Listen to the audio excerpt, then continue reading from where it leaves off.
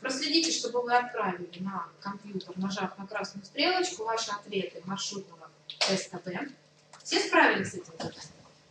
Ну а теперь давайте посмотрим. Слева перейдите, пожалуйста, к обсуждению, кто этого еще не делал. И давайте обсудим непосредственно те фрагменты э, из различных кодексов чести и морали, соответственно, с разных частей света, да, и разных временных отрезков. Итак, представители первого маршрута. Непосредственно, какой теме был посвящен у вас ваш фрагмент? О чем вы читали? Давайте сначала вспомним, собственно говоря, кто такие рыцари были. Кто такие были рыцари и почему создан, вот ваши знания по истории, а почему был создан этот кодекс? Кто такие рыцари? Кирилл. Рыцари это феодалы, владеющие замком. Так, хорошо, еще. Можно зачитать?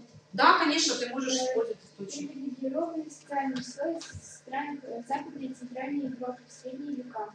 Рыцарь получал особое рыцарское воспитание, участвовал в турнирах и должен был вести военную службу. Итак, ребят, какими качествами должен был обладать рыцарь? Ведь в средневековом обществе рыцарь э, был достаточно такой одиозной фигурой. А какими качествами должен был обладать? Максим? Благородство, Храбрость, храбрость, еще. Какие качества могли быть? Егор? честность, Честность, доброта, доброта, Лиза, порядочность. порядочность. То есть все качества, можно сказать, что те качества, которые вы перечислили, можно их назвать нравственными? Можно их назвать? Ну да, безусловно.